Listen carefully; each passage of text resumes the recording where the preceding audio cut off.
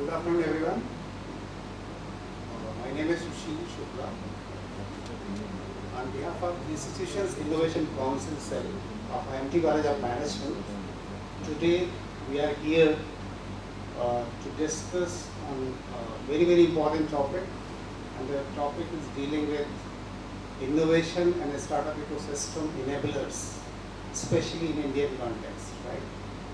So from that perspective, I'm really privileged and honored to get this opportunity to discuss on this and throw some light whatever we have. And uh, I think let us make this session very interactive. So with this audience, uh, during the question answer session or whatever it is, let us make it interactive so that it is really having a meaningful, you know, discussion. So just uh, to start up this particular situation, we already know there is a lot of focus on innovation and startup ecosystem, especially in India, right? Innovation we all understand because in Indian context, you see, you know, different sectors, different industries have different products and services. And without innovation, you cannot survive and sustain any business. So for sustenance of any business, innovation is the key driver. And those who could not innovate, they are out of the market. For example, Nokia phones, everybody knows. Even out of you all, how many are having Nokia phones right now? The answer itself is a clear indication of lack of innovation in the market at right time, at the right time, and right space in the market. Because of that absence, it could not happen. And the results are there. Somebody else who is more creative, more innovative will definitely replace in the market. And that is the irony but a bare fact. So from that perspective, uh, since couple of years, especially in Indian context, there is a lot of focus on the innovation and startup ecosystem. And here we are going to discuss the enablers.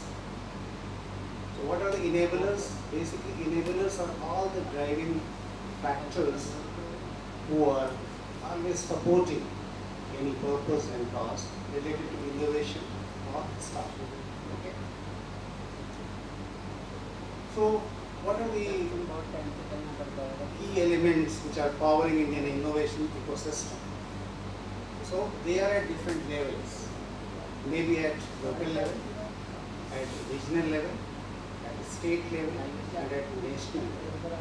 So ecosystem is at every level because you all know that proudly we can say that India is hosting uh, largest youth population across the world. And that is giving us a lot of insights and a lot of courage and conviction to move forward that we have tremendous potential to emerge as a global leader or to evolve as a global innovation hub across India. And really we can add value and contribute a lot in terms of product and services which are superior in solution, which are really addressing the ground level problem of the people of the society. Because if you see, across the society, the problems are continuously evolving and emerging in different sectors, be it edtech, be it health tech, be it uh, fintech, or any industry. The problems are that the real ingredients to start with any innovation. Because innovation is what? It is different from invention, right? The innovation is improvising either the process or any product or any features or upgrading it. And that is innovation. And then it is leading it to the commercial aspect where uh, we can have better or enhanced value proposition across the market segments. Right? So from that perspective, we have different you know, support system at local level, at uh, regional level, state level, and national level. I think you all know that there is a MSME, that is Ministry of Micro, Small and Medium Enterprises, which is driving the small business. and there is a fixed criteria and there is an online portal which is uh, supporting the entire ecosystem at small business level. Because a small business, micro level business, medium level business, and of course large scale business. The large scale business is definitely not part of the MSME sector. MSME is focusing large volume. That's why we want to, you know, encourage and uh, create a support system which is very, very strong and that is really going to help and expand this uh, dream of becoming a global hub of innovation and of course more successful startups which are mushrooming all across India. Because that is a big challenge irrespective of you know Make in India, Startup India, Startup India, so many programs which are coined around uh, a decade back. A lot of you know improvised uh, machinery and growth engine, but still on ground we can see there is a tremendous possibility of continuous improvement through different tools, techniques, and the latest technology adaptation. Because till we adopt the latest tools and technology, and also do the adequate market research before launching any product or solution or the service in the market. Why it is so important? Because generally we see uh, there is a huge competition to start up anything. But just to start up anything needs a lot of homework.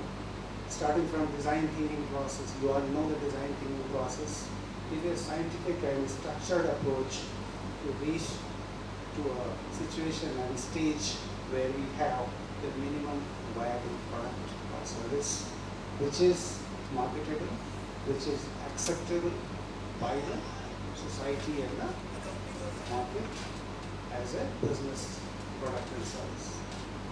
So in the design thinking process, why it is so important to adopt? Because it starts, the first stage itself is empathize. Why empathizing is so important?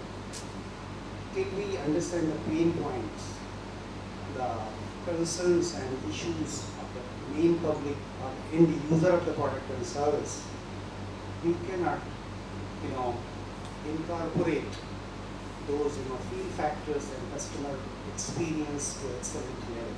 Because today market is based on the feel factor customer experience, the consumer experience, the end user experience. Because those who are not taking care of the end user experience, the customer experience at the product and service, utility level, in terms of features, in terms of whatever it is, it is really, really very difficult to survive or sustain. And that is the reason, unfortunately, more than 80-85% startups are getting failed in India, even after a decade long continuous efforts to different, you know, uh, government machinery at national, state, and local level. The reason is no adequate homework. Apart from that, no adequate funding. A lot of bureaucratic processes are there, which are hindering, you know, the culmination of, you know, the end results even though there is a lot of improvement in terms of the processes, but this thing has been simplified. And uh, you know, online portal is there where anybody can register corporation or enterprise based on their uh, business case, based on their know, project plan, how justifying and how strong and uh, good it is so that it is really having a future, future sustainability, which can ensure profit margin over a period of time. So initially, the innovation and the startup, they have to go hand in hand because any startup without the concept and implementation of innovative approach, the creative approach, which is the key ingredient of entrepreneurship or entrepreneurial journey, anyone, you cannot create an impact, which is, and you cannot create a difference because in the market there are so many solutions already there. How you can pitch in and create an impact and create a difference where really you can, you know, uh, impact variety and lot of masses which are really having a opinion. For example, till the Ola Uber was there in the market, what was the situation? Can you just imagine? But somebody has thought innovatively and came out with some kind of business model and of course business plan and the implementation of business plan across not only India, I think across the globe this concept is very, very useful. And you see the users, you see the customer experience and how it has created a tremendous impact, positive impact.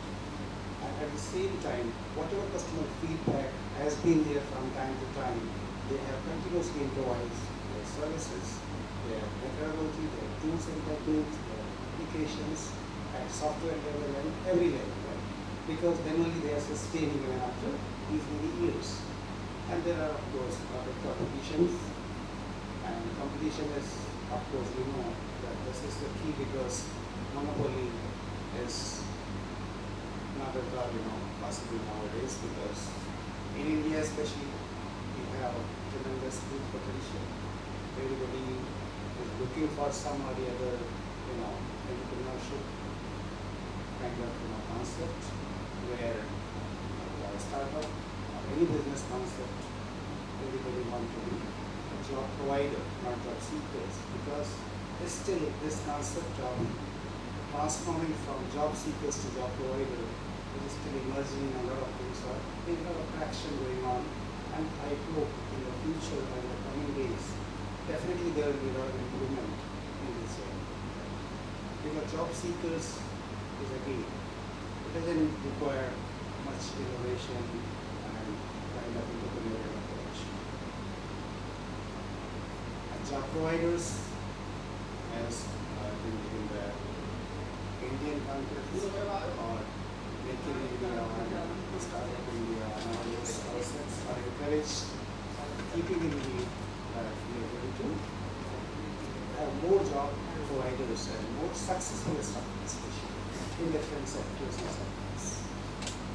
So, this journey is still uh, continuing, and I hope adequate analytics and insights and lot of data point from the authentic sources which are to be acted on on a regular basis because it is only change and improvement which is to happen continuously.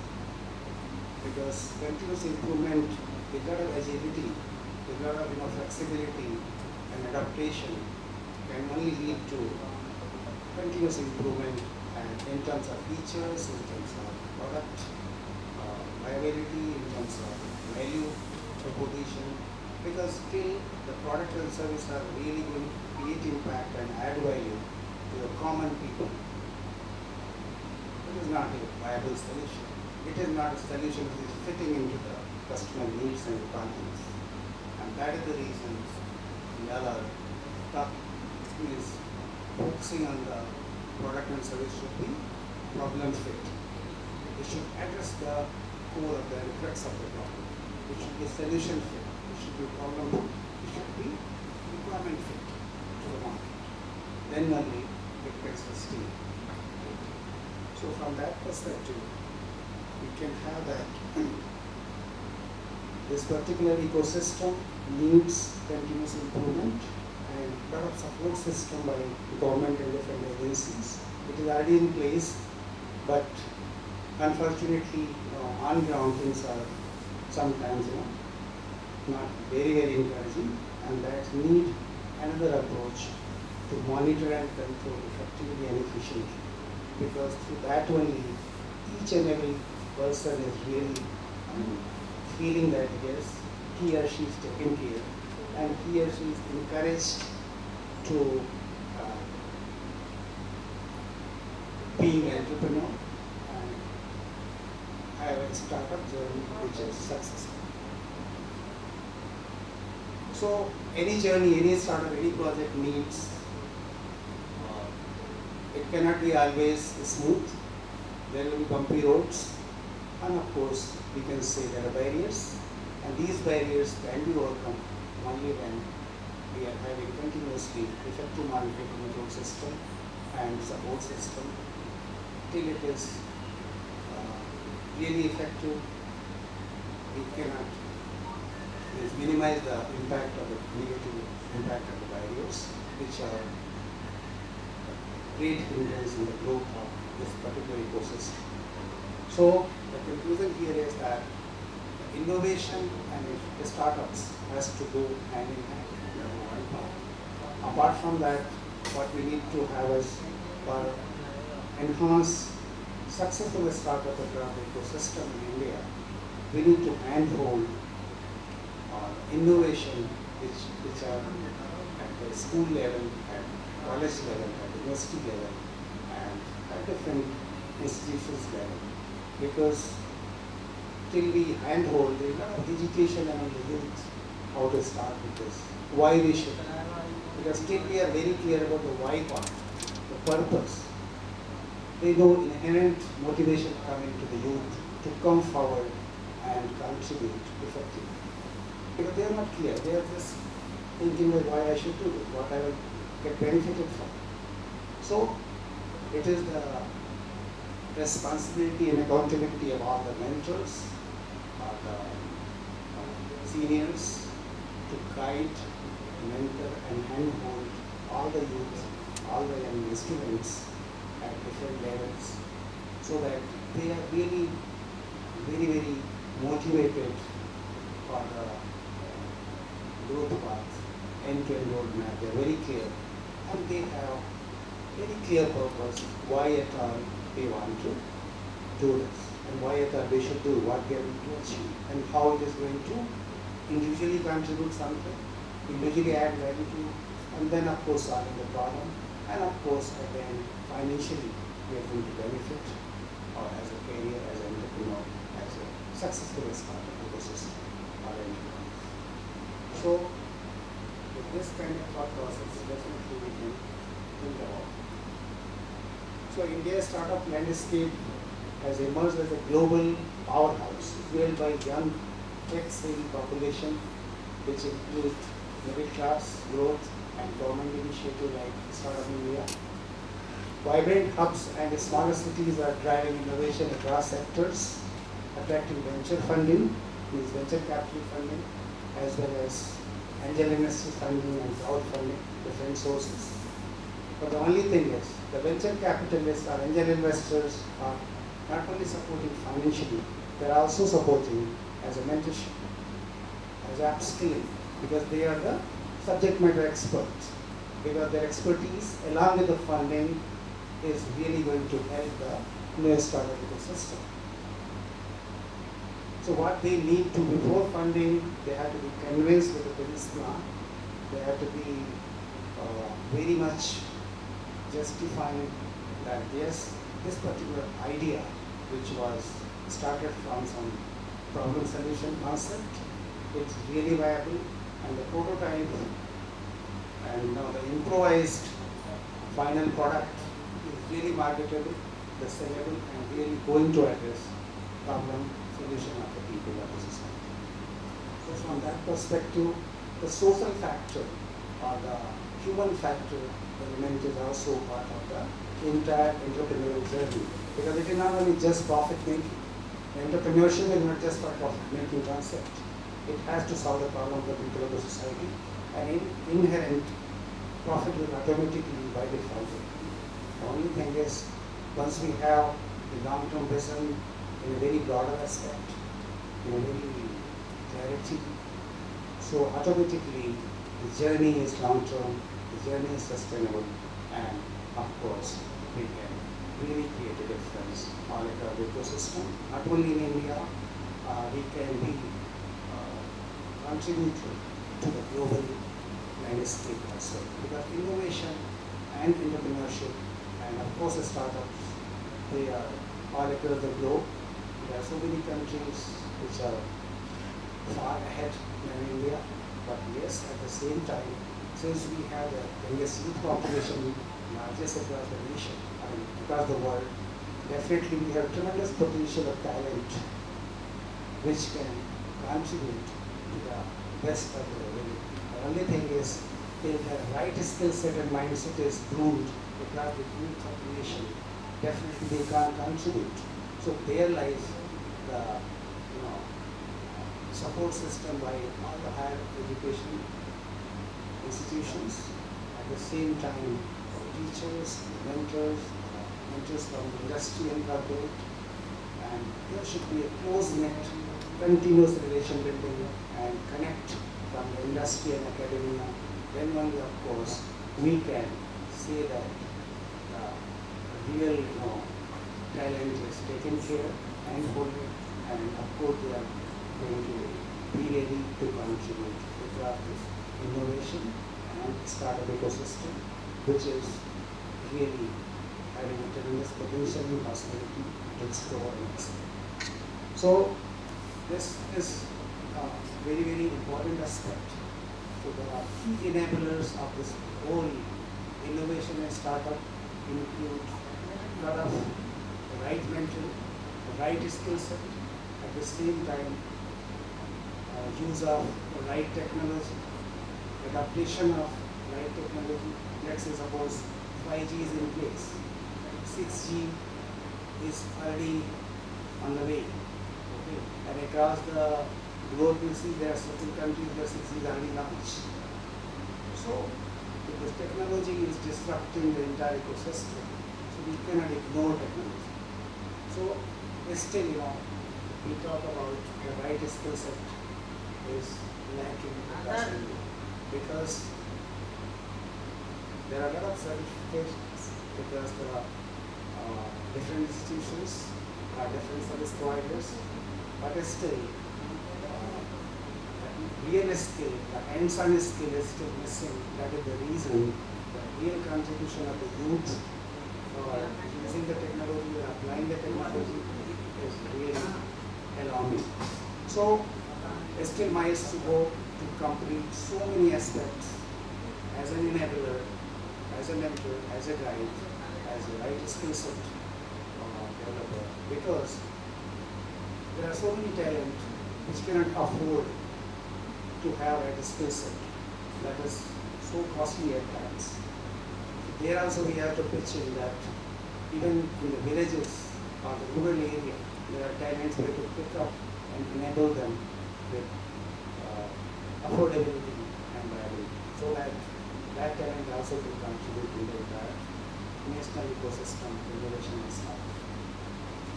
So already good initiatives are there like Atal Tinkering Labs and different ones, school level and. Incubation centers are there and higher education level. But only thing is that effectiveness and efficiency is still need to be taken care. And definitely if it will be taken care, nobody can stop India ah, to be a global innovation successful story of the gospel means across the world. And that way it can definitely create a huge impact across the world. So we are at the right path. Only thing is tremendous improvement is required at different levels, be it local, state, region or national level. And also we need to practice the best global practices also. It is not only just whatever we are doing in silos. We have to adopt the global best practices so that we are not reinventing the wheels or we are committing the same mistakes again and again which are already committed again. So we can save our time and energy by learning from the mistakes and learning from the best practices across the globe so that we are not committing anything and we are at the right path and right track. And this journey is really meaningful in that respect.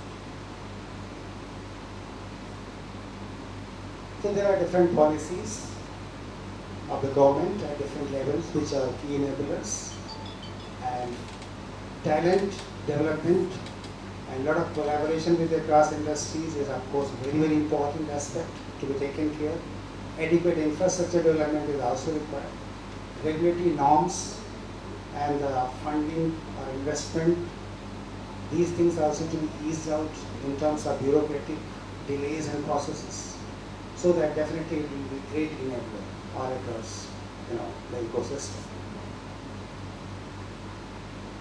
So, uh, the strategies which are strengthening ecosystem enabler needs policy refinement, funding diversification and simplification, talent development, and ecosystem collaboration across industries and different sectors. It will be definitely a great enabler at different levels. So with this, I think uh, I'm ending the session based on the enablers which are required for right innovation and startup ecosystem in India. Thank you so much for your listening, listening, and I hope this entire discussion will trigger so many questions, and that will definitely uh, finding answers will definitely enable us to further contribute more effectively to the youth of the nation. Thank you so much for your patient listening. Thank you. And let me know if at all some questions are there to answer. You can discuss.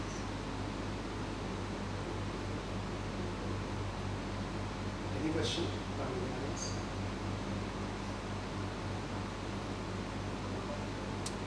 So thank you once again from the Institutional Innovation Cell of Anti-Malaria Management.